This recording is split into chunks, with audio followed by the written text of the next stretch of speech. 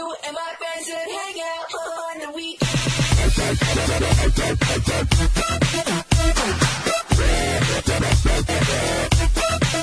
Beh ragazzi, benvenuti in questo nuovissimo video.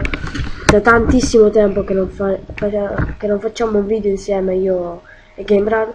Quindi oggi faremo una creepypasta come vecchi tempi. La creepypasta in questione è non esistenza. Avete mai pensato a quando la morte sia spaventosa?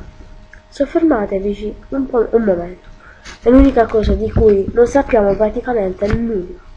Molte persone potrebbero parlarvi di cose religiose, come reincarnazioni o vita ultraterrena. Altri invece dicono di volersi concentrare unicamente sulla vita. Ma pensateci, è davvero qualcosa al di là della nostra portata? E se i religiosi si sbagliassero? Se la morte fosse realmente uno stato di non esistenza che prevale nel momento in cui il cervello smette di funzionare? Terrificante, vero? Ovviamente, seguendo questo ragionamento, tu neanche ti accorgeresti di essere morto, poiché non esisti. Però, mettiamo che qualcuno possa darvi prova di questa non esistenza. Proponiamo che questa persona sia in grado di farti vivere lo stato di non esistenza e ancora più importante che riesca a fartelo ricordare. Probabilmente accetteresti qualunque clausola pur di salvarti da quel terribile destino.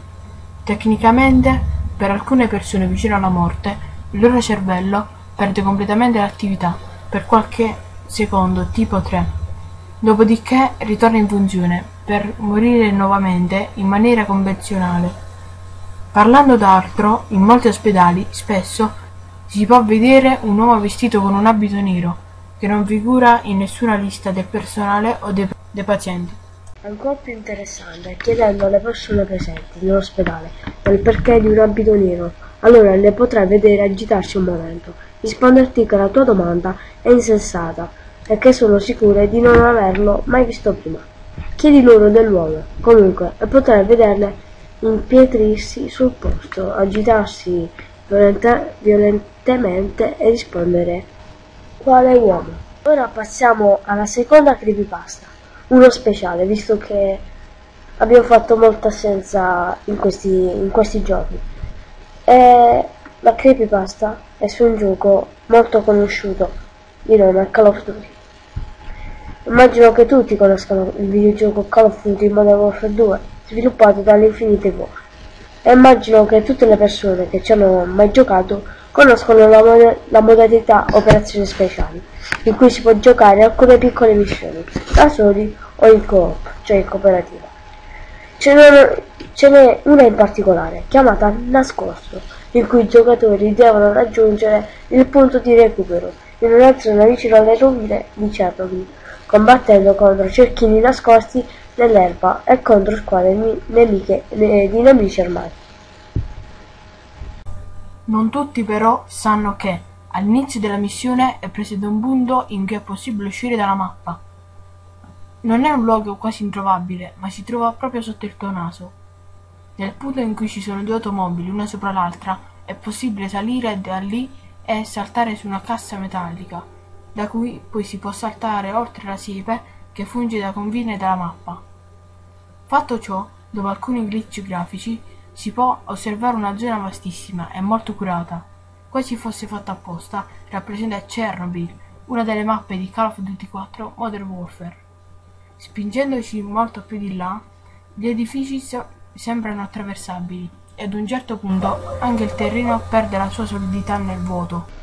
Uno potrebbe pensare sarà un piccolo bug oppure semplice. Hanno ri- riciclato la mappa del primo Modern Warfare per non doverne fare un'altra. Ma c'è una storia che, pote- che potrebbe rendere questa affermazione vietata. Il primo a scoprire questo bug fu un ragazzo americano che aveva comprato il gioco poco dopo la sua uscita, nel 2009.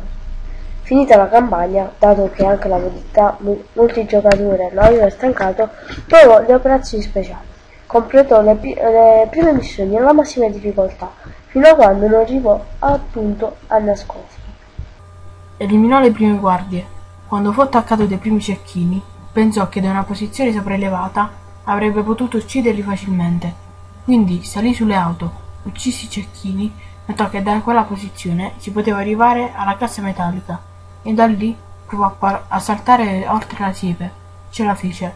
Era molto emo- emozionato del fatto che aveva scoperto un bug e non fece molta attenzione all'ambientazione. Andò semplicemente avanti. Ad un certo punto il ragazzo si spaventò tantissimo. Sto ancora cercando altre informazioni.